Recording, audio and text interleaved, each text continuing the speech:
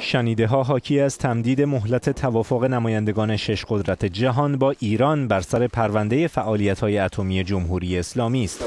برخی از منابع غیررسمی از احتمال ادامه مذاکرات پنج به علاوه یک با مقامات ایرانی در نیمه دوم ماه آینده میلادی خبر می‌دهند.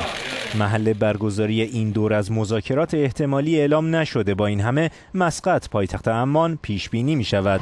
امروز سوم آذر به عنوان مهلت نهایی برای نتیجه گیری این مذاکرات تعیین شده بود. پیشتر هیئت ایرانی تاکید کرده بود که به دنبال تمدید این مهلت نیست. مذاکرات جاری در وین از سهشنبه هفته گذشته آغاز شده است.